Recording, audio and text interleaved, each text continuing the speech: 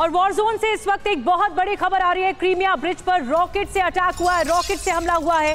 Crimea bridge पर तीसरी बार attack किया गया। दोनों रॉकेट को एयर डिफेंस सिस्टम ने मार गिराया है। एक बार फिर से क्रीमिया पर निशाना साधा गया है। उसे टारगेट किया गया है। और ये देखिए, तीसरा अटैक बताया जा रहा है क्रीमिया ब्रिज पर। ये तस्वीरें बताती है कि अटैक कितना भीषण था। धुएँ का गुबार आप आसमान में उठता हुआ देख सकते हैं। दूर से ली गई तस्वीरें हैं और ये तीसरा हमला है क्रीमिया ब्रिज पर, जो कि इस वक्त टारगेट किया गया क्रीमिया ब्रिज को।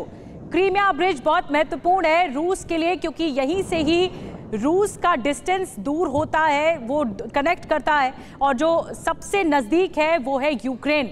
यूक्रेन के बॉर्डर पर और हमारे साथ मनीष झा और ज़्यादा जानकारी के साथ जुड़ गए हैं। मनीष तीसरा हमला बताया जा रहा है इस हमले के बारे में इस अटैक के बारे में और क्या कुछ जानकारियाँ मिल रही आ, बिल्कुल देखिए अब तक का ये सबसे बड़ा हमला हो सकता था अगर ये कामयाब हो जाते लेकिन क्रीमिया ब्रिज से मैच कुछ सौ मीटर की दूरी पर ही उसे उन दोनों रॉकेट को मिसाइल को मार गिराया गया। रूसी एयर डिफेंस सिस्टम की तरफ़ से। तो आप कह सकते हैं कि यूक्रेन की तरफ़ से सबसे बड़ा दुस्साहस किया गया।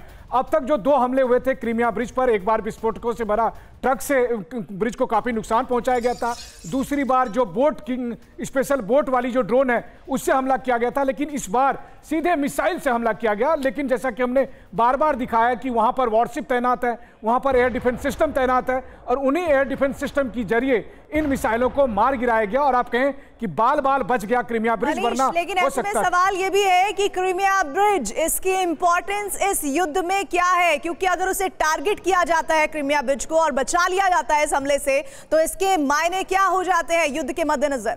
बिल्कुल देखिए क्रीमिया ब्रिज दरअसल क्रीमिया को रूस के मेनलैंड से जोड़ने वाला ब्रिज है जो कि ब्लैक सी पर 19 किलोमीटर एक लंबा पुल है। लेकिन सबसे बड़ी बात है कि न केवल इसका स्ट्रेटेजिक महत्व बल्कि अगर सांकेतिक महत्व देखें तो ये प्रेसिडेंट पुतिन के लिए आन बान शान का सवाल है। अगर कल के दिन में क्रीमिया ब्रिज को पूरी तरह क्षतिग्रस्त किया जाता है तो आप समझिए कि क्रेमलिन तब परमाणु हथियार का भी इस्तेमाल कर सकता है। इतना हद तक दबाव है क्रीमिया ब्रिज को लेकर और ऐसे में मिसाइल से इस पर अटैक करना ये अपने आप में इस युद्ध की सबसे बड़ी घटना बिल्कुल इस युद्ध की भीषणता ये बताती है कि इस ब्रिज पर निशाना साधा गया और मिसाइल से अटैक किया गया। पहले भी क्रीमिया ब्रिज पर दो बार हमले हुए थे और एक बार फिर से यहाँ पर टारगेट किया गया है जो कि रूस की आत्मा बताया जाता है क्रीमिया ब्रिज।